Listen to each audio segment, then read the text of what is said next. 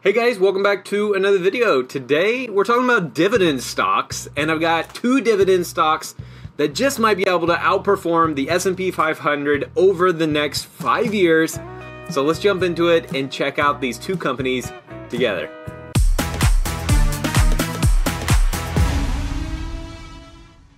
Alright guys, so in this video I'm going to give you two stocks that I think can outperform the S&P 500 over the next 5 years and we're going to be talking about a wealth building strategy that's focused on solid businesses that offer both wealth building potential and peace of mind. All right, so S&P 500 has had historic performance, 10% average annualized return over the past 50 years, and that mirrors the average company's long-term earnings growth.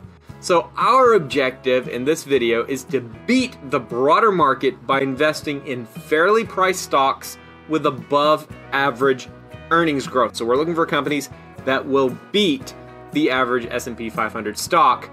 And really we're trying to balance growth and income because growth stocks are key to beating the market, but they often lack dividends. Now, if you're a subscriber to the channel, guys, you know I love growth stocks. Those are my favorite stocks. And that's why today, neither one of these stocks have I actually invested in, but they're hot on my radar.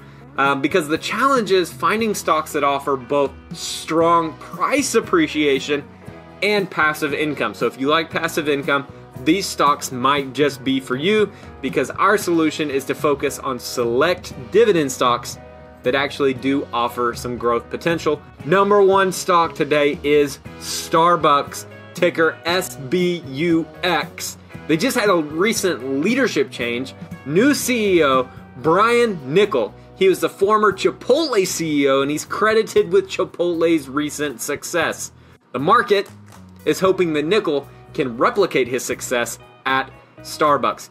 But Starbucks is more than its leader, it's a brand and it has a lot of strength in business. Despite their challenges in consumer spending, Starbucks remains a strong global brand. There's a lot of positive growth indicators. Global compa global comparable sales have declined, but store openings, loyalty program growth continue. 33.8 million loyalty members, which is up 7% year over year, and it's ranked, guys, as the highest restaurant brand globally. 15th most valuable brand in 2024. And it's come from financial performance. Their net profit margin is 11% over the last four quarters. Dividends, 60%, guys. 60% of their annual earnings are paid out in dividends. Current yield, 2.46%, which is the highest in years. And all that comes with a great valuation. PE ratio is 26, which is below the S&P 500's average of 29.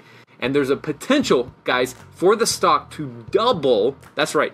The stock could double in price by 2029 with earnings growth. So, when we look at the future of Starbucks, Niccol's potential impact, he's expected to guide Starbucks to a 15% annual earnings growth target. So, the stock has a lot of potential for significant value appreciation and attractive dividends. That's the first stock for you today, guys, is Starbucks. All right, fantastic brand, great dividends, and I think it's going to grow over the next few years with this new leader. Let's talk about that second stock now, and that is Casey's General Stores, ticker CASY. Now, I know General Store might turn some people off, but this company is a growth company. Look at their growth record. They have 2,600 plus stores nationwide. they they've had regular dividend payments since 1991 with a recent 15% increase and they have a competitive advantage because they because of all the impulse purchases at their stores are driving high margin sales. And they're known for freshly prepared food especially pizza. This is insane, guys, but Casey's General Stores is actually technically the fifth largest pizza, pizza chain in the United States. Yeah, that's a crazy statistic. But look at their financial performance. 478% total return since 2014, which has outperformed the S&P 500.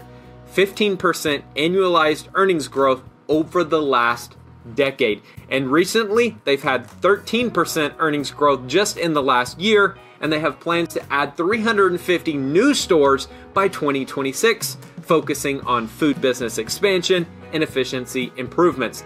All that comes with good valuation, same PE ratio as Starbucks, uh, forward PE ratio anyway, of 26, and they're expected to deliver annualized returns close to the earnings growth rate of 13%.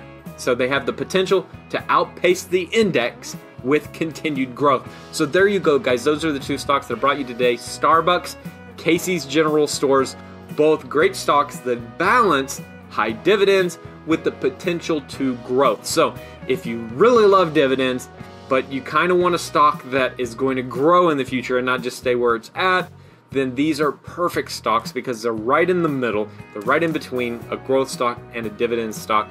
So, Starbucks, Casey's General Stores, strong candidates for investors that are seeking a combination of dividend income and capital appreciation.